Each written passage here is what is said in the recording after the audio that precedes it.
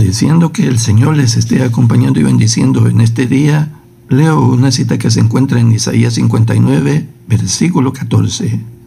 La justicia se mantiene a lo lejos, por cuanto la verdad está caída en la calle y la rectitud no puede entrar.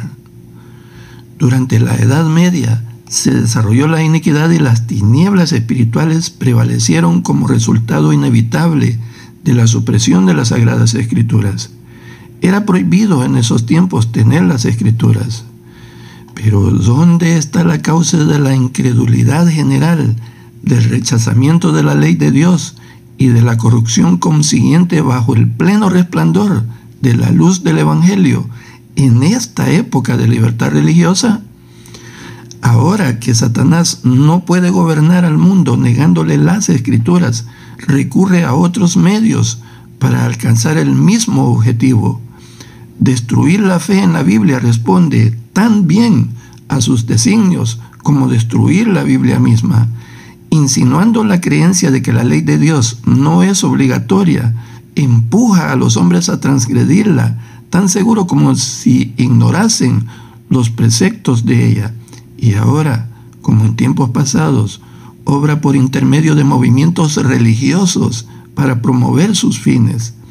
Las organizaciones religiosas de nuestros días se han negado a prestar atención a las verdades impopulares claramente enseñadas en las Santas Escrituras y al combatirlas han adoptado interpretaciones y asumido actitudes que han sembrado al vuelo las semillas del escepticismo aferrándose al error papal de la inmortalidad natural del alma y al del estado consciente de los muertos, han rechazado la única defensa posible contra los engaños del espiritismo.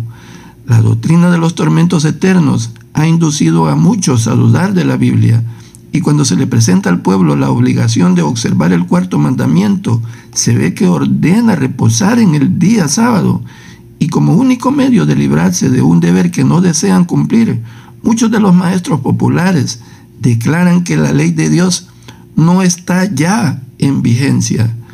De este modo rechazan al mismo tiempo la ley y el sábado. A medida que adelante la reforma respecto del sábado, esta manera de rechazar la ley divina para evitar la obediencia al cuarto mandamiento se volverá casi universal.